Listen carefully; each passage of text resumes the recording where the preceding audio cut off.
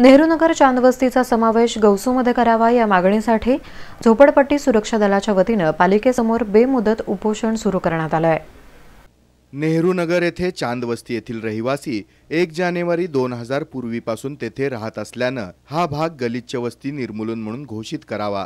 तसंच येथे सोयी सुविधा द्याव्यात. या मागणीसाठी महाराष्ट्र प्रदेश झोपडपट्टी सुरक्षा दलाच्या वतीनं पालिकेच्या प्रवेशद्वारासमोर झोपडपट्टीवासियांनी बेमुदत चक्री उपोषणास सुरुवात केली आहे.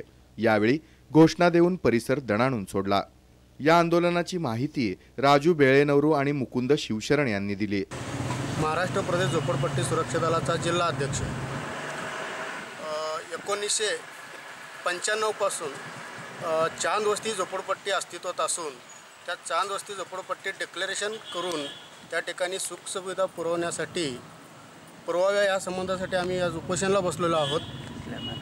तर त्या ठिकाणी आज महानगरपालिकेचे आयुक्त साहेब घाकणे साहेब यांनी आमचे मागण्या मान्य केलेल्या आहेत. ते स्वतः येऊन तळपाणी करून जर तुम्हाला न्याय मिळवून देतो असं आम्हाला आश्वासन दिलेलं आहे. संयुक्तरित्या चांदवस्ती झोपडपट्टी धारकांना स्लॅम ॲक्टखाली घोषित करून त्यांना फोटोपास द्यावा आणि नागरी सुविधा वगैरे पुरवण्यात यावे या अनुषंगाने आजपासून चक्री उपोषणाला आम्ही बसलेलो होतो. निवेदन द्यायला गेले असता माननीय आयुक्त साहेबांनी आम्हाला आश्वासन दिलं की तुमचे आम्ही सर्व तिथं आहे ना दे देखरेख करून तुमच्या मागण्या वगैरे आम्ही मान्य करू.